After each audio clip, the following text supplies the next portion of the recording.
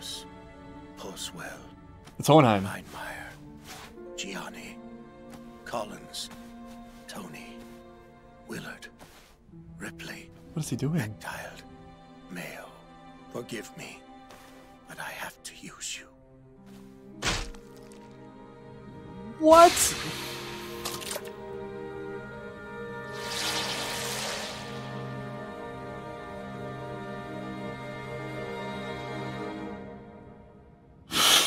Episode 36, Family Portrait. What the hell is that? So he's got the souls of other people inside of him. That's cool. So I've been thinking about Hohenheim, and I have a theory to float out there, even though I have no idea if there's any truth to it at all. I started thinking about this after I saw Father for the first time, and about how they clearly have a resemblance, right? They're, they're almost identical. Hohenheim seems to know about human transmutation because he gave Ed some insight on it, right? And Father, in a way, seems like kind of a shell of a, of a human being. So I'm wondering if something similar didn't happen to Hohenheim that happened to Al, where certain aspects of him were split. And now we see that Father has souls, I'm guessing, inside of him, similar to the way Father uses Philosopher's Stones to fuel the homunculi. It's all very strange. 13 years ago. Oh, look at them. Nice. Is this going to be a Hohenheim have them, flashback? you know. That's awesome. They are your sons. I don't want the monster to spread. Please. If it could spread that way, don't you think I would have caught it a long time ago? Since I got this body, I've seen a lot of death. Since I got this body, huh? Each time I encountered something new and wondrous, it seemed right that I'd accepted this body and kept on living. For a long time, that was enough. But then, I met you, and together we created two sons. Now it's different. I don't get any older, but my sons age and grow before my eyes. And suddenly I'm terrified. I'm realizing that I really am monster. So that's a huge reveal about Hohenheim. He seems like he's immortal or something like that. Or maybe it's immortality in the way that Al is immortal. Because he talked about since I accepted this body, right? So it's not his original body, or maybe he never even had a body, and so he can't die. I'm starting to think there's a deeper connection between Hohenheim and Al, besides just Al being his son. Because he has a body that doesn't age. And also, this is one of Al's big dilemmas, right? Being a monster. Al's not his own father, is he? but more important than my wild speculating is Hohenheim's character. This clears a lot up. One of the bigger questions for me this whole time has been what was Hohenheim's involvement with the homunculi and father? And one of the limiting factors for the idea that he's connected was that he seems like a normal human, but now we know he can't age. And we also know from the recap episode that he has some major conflict about what he's done and also what he will continue to do. So something happened to him that made him this way, that led him on this path to amass power through the Philosopher's Stone, I'm guessing, in order to do something. But interestingly, what I think that episode and this little monologue did is it humanized him in a big way. He seems more and more to me like a very conscientious person. And maybe the first evidence of that was him letting Ed off the hook, letting him know that he didn't actually bring his mother back from the dead. And you can really feel his love for Trisha, and you can also feel Trisha's love for him. And I always got the sense that she understood why he left and supported it, even if it made her really unhappy.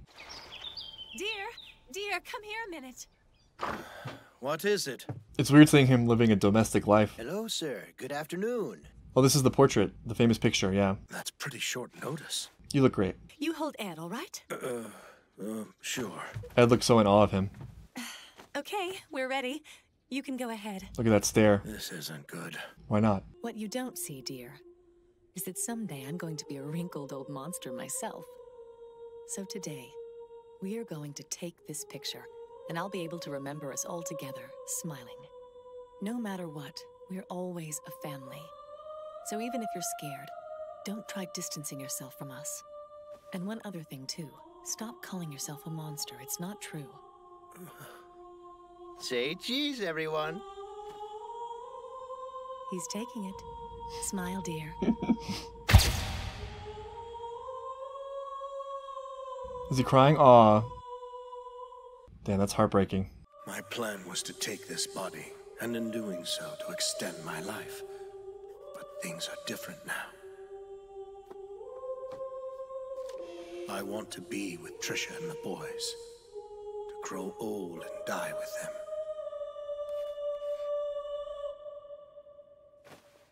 That bastard.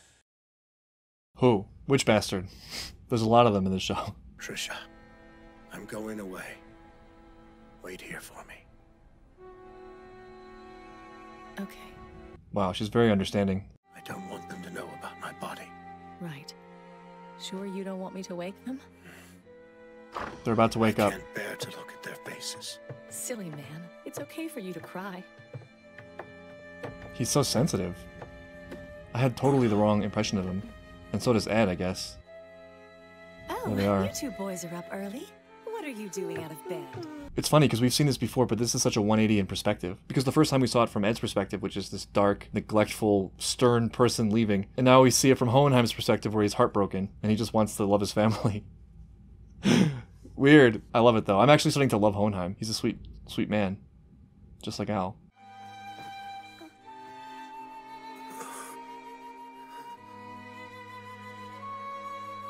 I feel like Ed is intuiting something. Something's not right. what an opening. That was just the opening of the episode? Damn. That's insane. That was so rich, that whole thing. Man, totally different perspective on Hohenheim. This is riveting. I'm, like, hooked. Meanwhile, back at Briggs, I kind of wanted more Hohenheim. Smith, go back and report. Sir! What is it? Something's coming.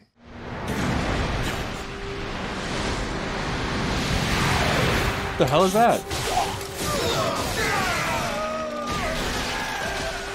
What is this thing? Would you be interested in a legion of immortal soldiers? He took the bait. Never dying. Still way too close. old. You want it too, don't you? Well, are you interested or not? Are we still talking about the Legion of Immortal Soldiers or something else? If I buy into this, I'll be forced to facilitate whatever dirty plans he has for Briggs. And if I refuse, I'll just be swapped out for some other pawn. Probably demoted. You'll have to clean icicles. What's this about an underground tunnel? Speak, soldier. I wonder how much he knows. I'm moving the Elric brothers from the east cells to the west. May I ask who this is? This is Mr. Zolf J. Kimbley. He's General Raven's honored guest. Kimbley. The Crimson Alchemist. Right, this is their first meeting, right? Now I understand your nickname. oh, it's this one. If one more person makes that mistake! Nice to meet you. I've heard much about the Full Metal Alchemist. We lost all contact with the advanced team that was sent down to search the tunnel. There's something way worse than Sloth down there. He came back with what we assume was his arm. Just his arm. Where's the rest? It's still missing, sir. And his horse can't lead us back. It's too terrified to be of any use. At least it spared the horse. What have you done with the immortal monster you were telling me about earlier? Put him back and seal the tunnel's entrance, General. But there are still I men- am speaking to the General. See, I know Northern law. Obey strength and obey the power. Isn't that the way it works? Yeah, but I think he's underestimating her strength and power. But I understand her problem. Like, if this guy had shown up a little bit later, they might have been more organized, but their timing was terrible. It all happened at the same time. It appears you've been good boys and kept your mouths shut. That was the agreement. I've already spoken with the General. She's going to put the homunculus back underground and seal up the tunnel's opening. General Armstrong's on our side now, Full Metal. Nah. They got him fooled pretty good. We can't just abandon them down there. They still may need our help. I said be quiet! Be quiet and obey. What a pain. Oh well. I have no choice. Such a pain. But I forget. Why is it a pain again? Too much of a pain to remember. It's crazy how brazen the top brass are. Like, what are these soldiers thinking right now? Close this hole and guard our secret. I'm counting on you, soldiers. It's people like you who make this country what it is. This guy doesn't realize how much danger he's in right now. If Scar were here, he might be able to read it. The girl with the black and white gat. Right, let's go.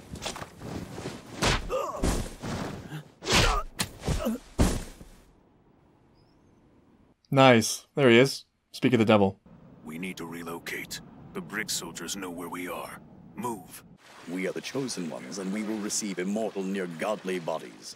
We'll rule the entire world. The name was Smith, wasn't it? There was nothing we could have done to save them. Those who aren't chosen, will they be sacrificed for those who are?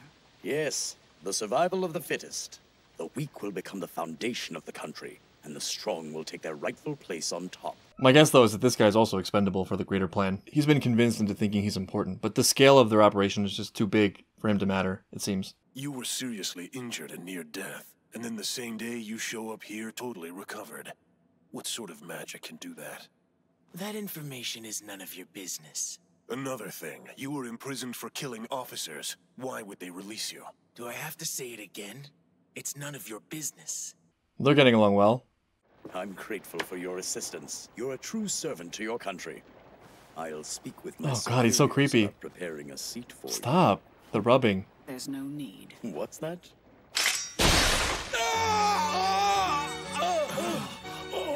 Which arm did Smith lose in the tunnel? The left or right? Wait, what are you...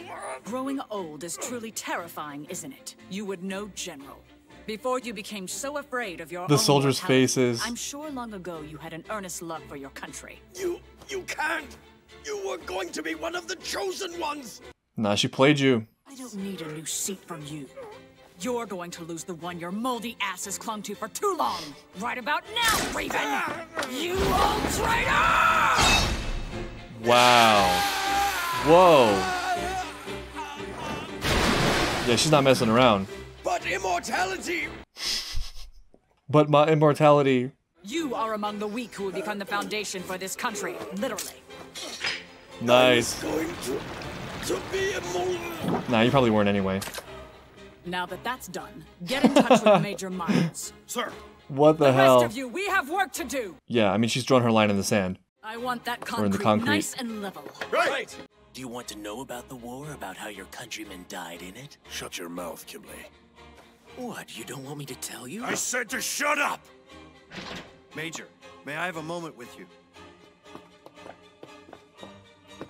Big things are happening I at have a Fort message Briggs. for you from the general.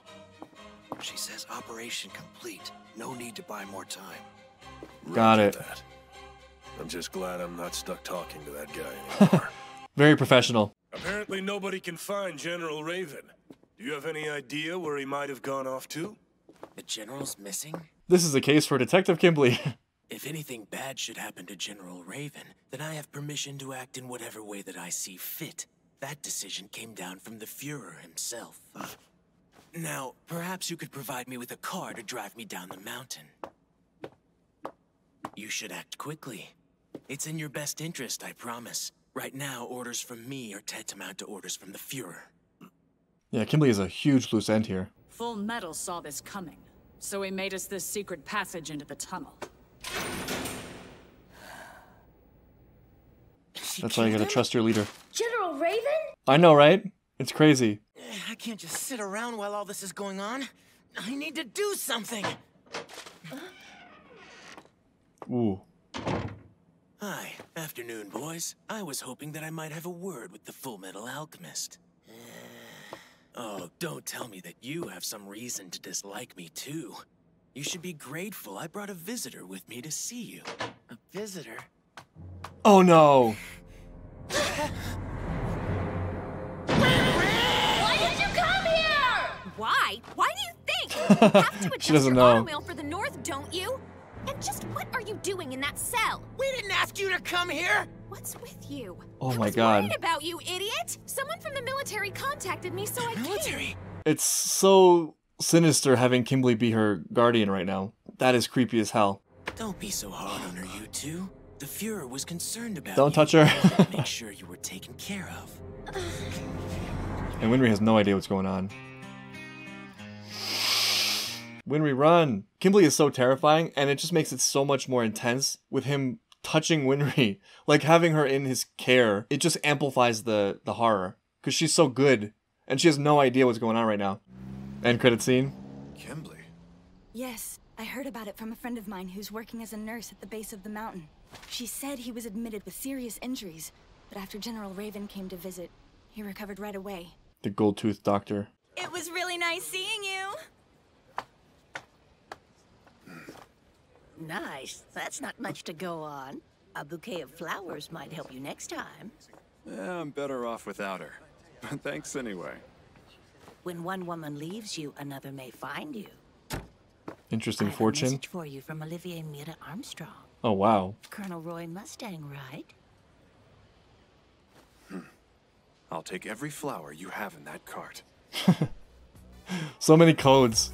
Nothing is normal. I wonder what their backstory is, because she said she didn't care about Roy at all. I guess she sees him as competition, right? Which means she respects him. And in times like this, when you're basically being invaded by superiors from Eastern City, now would be a good time to get in contact with Roy. You have to think that Armstrong is thinking a little bit ahead here, because killing Raven is a huge deal. Like, I don't think she would do that without having some kind of foresight. We've seen inner monologues with her where she's strategizing, so she probably has a plan that involves Roy, which is cool. I've been sort of like missing Roy a little bit. He hasn't been that involved in these episodes recently. But yeah, that was a huge episode. First of all, the intro with Hohenheim was incredible. Lots of feelings there. I have a totally new perspective on Hohenheim. But then that huge move by Armstrong killing Raven, definitely living up to her reputation. Raven seemed really weak, and it seems like his weakness came from arrogance or overconfidence in who he was and, and his rank. We'll never know for sure now that he's dead, but my feeling is that he was a lot less important than he thought he was. And he's a loose end. Like thinking about it from Bradley's perspective, him spilling his guts like that is not the kind of person you want in your upper ranks. Like he got so played by that, that simple plan. And now he's pushed Armstrong and her northern forces completely on